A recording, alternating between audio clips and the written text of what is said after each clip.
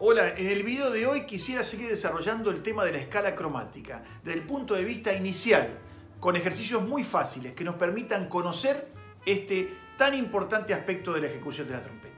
En un anterior tutorial habíamos desarrollado el tema de la escala cromática a través de un simple ejercicio de una octava que llevábamos del Do grave al Do medio atravesando distintos valores rítmicos muy fáciles. Habíamos comenzado con valores de redonda separados de silencios para cada nota, luego habíamos suprimido el silencio con todas las redondas seguidas, luego habíamos pasado a valores de blancas para cada nota, negras, por último corcheas. Para el video de hoy quisiera concentrarme en desarrollar un poco el aspecto rítmico. Vamos a trabajar desde las corcheas hacia un valor rítmico menor, o sea, vamos a trabajar tresillos de corcheas y posteriormente semicorcheas.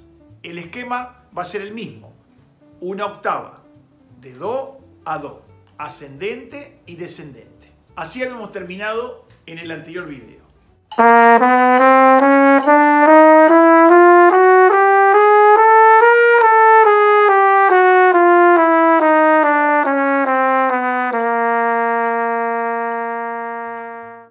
Ahora vamos a trabajar el valor del tresillo de corcheas, en el sentido de que las dos notas, 1, 2, 1, 2, 1, 2, 1, 2, van a ser reemplazadas por 3. 1, 2, 3, 1, 2, 3, 1, 2, 3, tarirarirarira.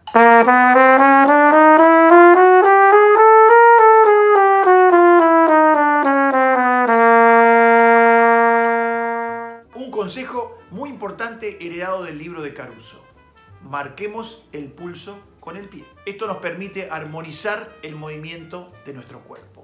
Próximo ejemplo, semicorcheas. 1, 2, 3, 4, 1, 2, 3, 4, 1, 2, 3, 4, 1, 2, 3, 4.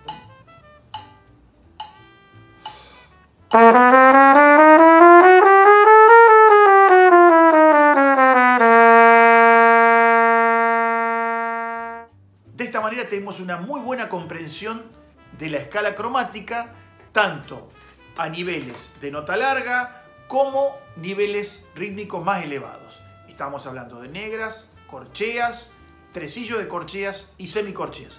Eso nos permite lograr mayor agilidad, siempre en el ámbito, por ahora, de una octava, de Do a Do. Más adelante seguiremos desarrollando la idea.